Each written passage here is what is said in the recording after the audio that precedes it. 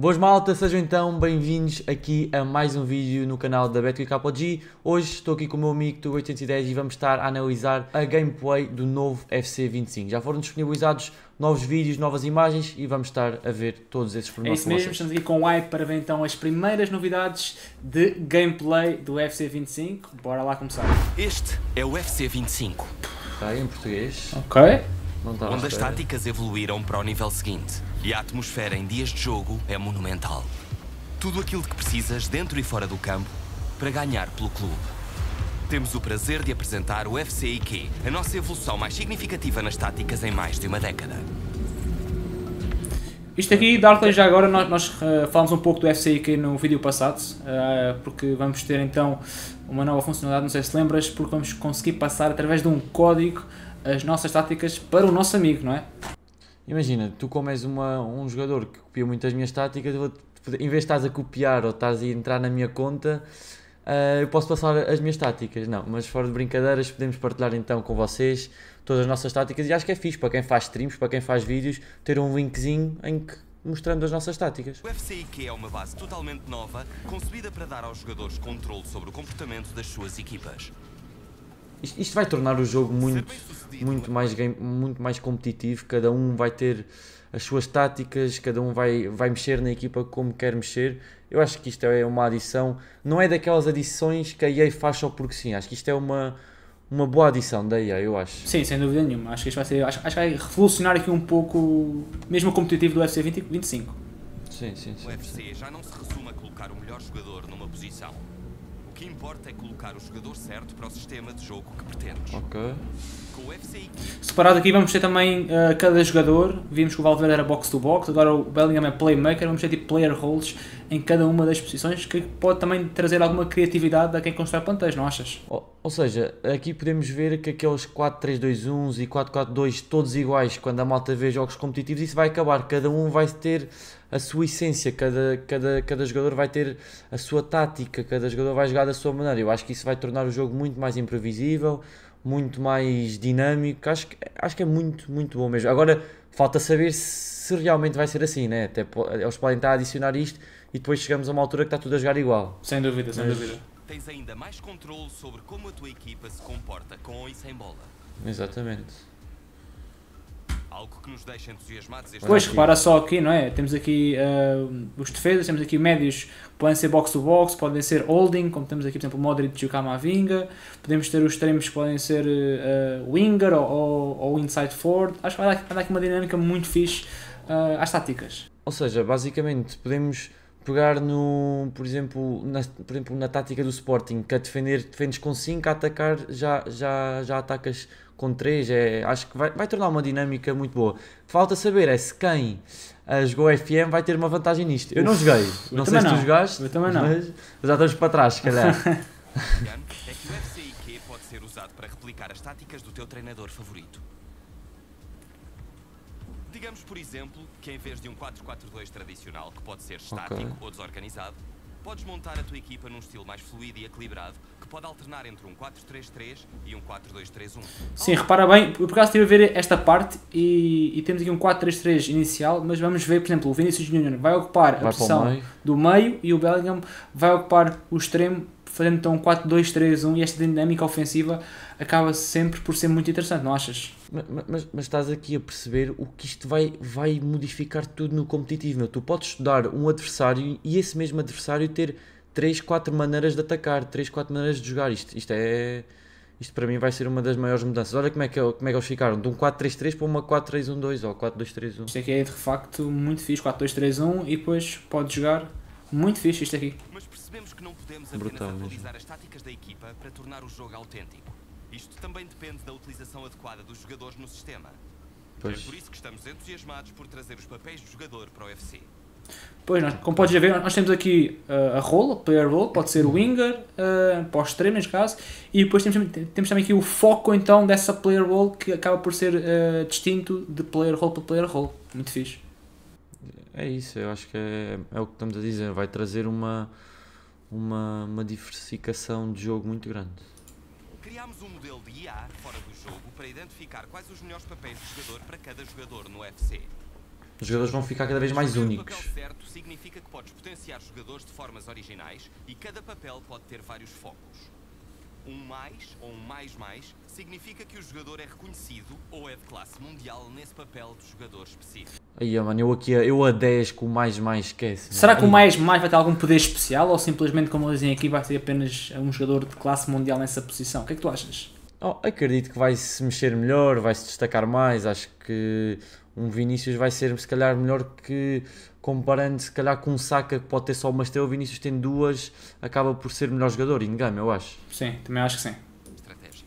Para te dar uma noção de como a tua equipa vai jogar, podes consultar os mapas de atividade do teu jogador, descrições Ok. detalhadas do papel Ok. de cada jogador, um resumo dinâmico da tua tática e até mesmo a forma da tua equipa jogar com ou sem bola. Olha um parque Isto, da base. isto aqui acaba ser, porque isto aqui, aparecer aqui as táticas sugeridas, tu podes rapidamente mudar a formação em seta, para cima, para a esquerda, para a direita, sendo que é parque da base, tiki-taka, um foco em defender. Eu acho que isto vai, tal como sempre até agora, acho que vai trazer uma dinâmica completamente nova a este FC 25. Eu também acho, mas acho que a minha dinâmica vai ser ganhar, estar a ganhar os jogos, defensivo, parque da base, Pá, eu, E 10 de hone- largura. honestamente, eu acho que vai ser marca um gol aos 10 minutos, parte da base logo ali para defender. parte da base tudo para trás, posse de bola.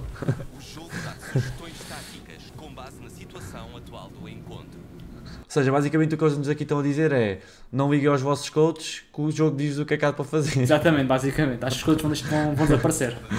direcionais. Se encontrares uma tática de que gostes, podes partilhá-la com os teus amigos ou seguir Yeah, isto é muito fixe. usando um código específico para a tática. Yeah.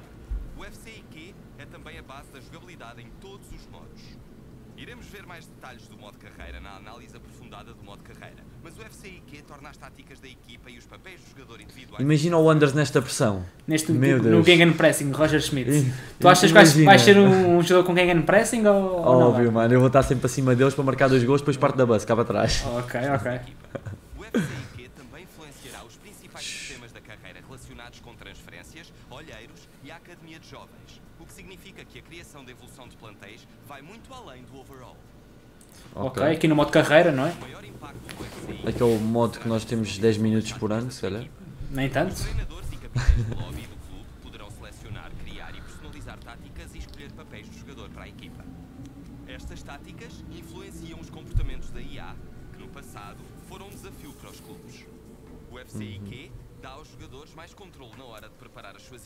E Dark, Darkway Ball para o ano. É verdade. Deus. Aqui no Pro Clubs, não, sabe como sei dar no Pro. Clubs a, dar, eh, a ser ao P com estas táticas? Não sei, vamos ver, não é? 100%, Como os 100%. jogadores da IA jogam e se posicionam. O FC 25 é o The World's Game no verdadeiro este significado passe? do termo. O que significa que se está no jogo, está no nosso jogo. Uhum. Ui. É que por acaso isto passa parecia mesmo na vida real há uns anos atrás. É tal e qual as minhas bolas. Alguma vez e eu a aparecer. real e trazê-los para o UFC. Temos movimentos reais, gols reais, estilo de jogo reais e, claro, celebrações reais de 20 mil jogadores. Mano, isto está muito fixe. Yeah. 25. Os estilos de jogo foram um enorme êxito no jogo do ano passado e vamos levá-los ainda mais longe. Vamos ter, por exemplo, aqui o playstyle, que não sei se repararam neste, neste remate, que ele defende e ressalta. E agora vamos ter o playstyle dos guarda-redes, que é, como podem ver aqui em baixo, o Deflector Playstyle Plus, onde ele vai defender, mas vai defender muito para fora, repara só. Viste? Ou seja, o, guarda, o jogador já. Ok. Os guarda-redes vão ter playstyles eh, para eles Oh, próprios. Tu, tu paraste no frame. Mano, eu tenho certeza que tu vais fazer assim uma, um festejo. O teu festejo vai ser com uma mascote. Vai ser, né? 100%. Movimentos técnicos E esta nova falta, Darkley? Deixa-me só aqui andar um bocadinho para trás, que é basicamente não- que vamos ver a seguir, mas reparem só, pode-se puxar o jogador, imagina acontecer isto ao minuto 89 no Foot Champions, quantos comandos não vão ser partidos? Qual imagina? Eu vou estar sempre a fazer isso, não sei quanto a 100%, ti. No foot, 100%. no foot Champions, no Rivals, no competitivo, vou estar sempre a puxar os todos para trás. É verdade. imitação de IA de corpo inteiro, movimentos realistas nas camisolas e materiais Ok. e muito mais. Muito É mais. isto. E isto é o UFC 25. Ui, Temos aqui um, Muito. Um grande jogo, né? Agora aqui, vamos ver então, ah, vimos o vídeo, vamos ver ligeiramente aqui a, a Pitch gameplay, notes. as pitch notes. Ah, e aqui ah, podem ter muita informação, vamos deixar também aqui no, no YouTube, neste vídeo, nos comentários, o link para vocês também poderem, se quiserem, dar uma olhada dela. E vamos explorar aqui o que achamos mais interessante. Aqui é importante a malta analisar por si mesma. Não, nós vamos estar aqui a falar das coisas mais importantes, mas lerem tudo com calma e assimilarem aqui a informação, porque pronto, estão aqui a tudo o bocado novo, por assim dizer. Os guarda-redes vão ter playstyles novos. Uh, vamos ter então aqui o, o footwork, deve ser tipo jogar melhor com os pés ou ter mais accuracy nos passos que Ok. faz. Temos o sair da baliza, que é o, o rush out, não é? Para as bolas nas costas. Exato. Este aqui é o, é o tal que nós vimos, que é o deflector, é, ou seja, Mano, eu vou, estar, eu vou estar sempre com este, mano. Sempre. Este aqui, pá, eu acho que aqui o triângulo para ser no Foot Champions, o rush out vai ser. uh, Sim, então vai ser bacana. E depois temos o, ok, cross claimer, para defender os cruzamentos e cantos, é capaz de ser melhor, não é? Acabou, acabou os Germans. Pode, pode, pode vir a acabar. Fire reach, ou seja, finesse, trivelas, será que o guarda-redes consegue apanhar a bola uh, mais longe? Olha, eu estou a ver muita coisa. Eu acho que este ano vai ter. Ia, mano, eu só espero que o meu treinador para o ano faça um trabalho incrível. Far throw, ou seja, lança, lança mais longe a bola. Acho que este não vai ser muito OP, honestamente. não, não, este, este. Mano, eu tenho a certeza que vamos chegar a abril e vai estar o bomba a dizer para fazermos uma jogada com este lançamento. O guarda-redes vai mandar o ao extremo. Imagina, imagina. E depois, uh, tínhamos aqui também para ver, uh, principalmente, há aqui umas novas fintas. Uh, podemos ver aqui uma ou outra rapidamente aqui, só para ver o que é é- quais são as novidades. Ok, aqui um body feint. Mano, eu por acaso fazia muito esta, assim, tá, tá. Ok, um stop and go. Uf. Ui, ui, ui, ui, ui. ui. ali um ataque ali para trás Tá, e tá. volta para a frente. Ok. Step over. Uf, tipo Bonito. ao lado. Parece- Bonito. Parece um Berbatov spin esta finta, mas está Pois fixe. parece. Está fixe. Pois parece. E eu. Ux, Ai, ai, ui, ai, ai, ai, ai, ai, ai, ai, two drag step over. Ok. Interessante. Ok. Se quiserem saber como é que elas se fazem, tem, ah, pronto, já está já tá disponibilizado nas pitch notes, é nestes Exato. aspectos que vocês têm de ver por, E por temos, vocês como falámos e tu e disseste muito bem, então o Professional Foul quer fazer R1X, repara só aqui, R1X, vamos estar sempre, sempre a spamar isto, 100%, repara só, a puxar a esquece. camisola, não, não tem como. Sempre, não é? Não, não tem E depois, olha, sabes o que é que era bom? Puxar a camisola e depois pedir desculpa, assim, com as mãos Ai, quando assim, os gols. mesmo tóxico, não é? Seria top. 100%, mano. Mano, imagina aos 90, isolados, pumba, puxa. E depois, a outra grande novidade é, o- é, lá está, é os cantos, é os livros bolas paradas, onde vamos ter então a possibilidade de escolher jogadores ao primeiro posto, jogadores ao segundo posto e jogadores então para estarem como homem-alvo dentro da área. Como já tínhamos dito, eu acho que também era bom, era a defender termos esta mesma possibilidade. Não sei se vai ser possível, Exato, uh, mas, mas, acho que era mesmo muito importante também. Porque imagina que tu a atacar o teu adversário mete todos os gajos altos ao primeiro posto e os teus altos estão ao segundo posto automaticamente. Ardeu? Sim, sem dúvida alguma. Bem, malta, eh, isto foi assim um pequeno resumo então eh, das pitch notes da gameplay. Como eu e o Darkley dissemos, vocês vão poder então ver este link vai estar fixado aí nos comentários eh, aqui do vídeo. Portanto, eh, mais um, uma espécie então aqui de, de desvendar deste então FC25. Gostei muito de estar aqui presente eh, e voltaremos muito em breve, não é Darkley? Beijinhos a todos e até uma próxima. Tchau, tchau.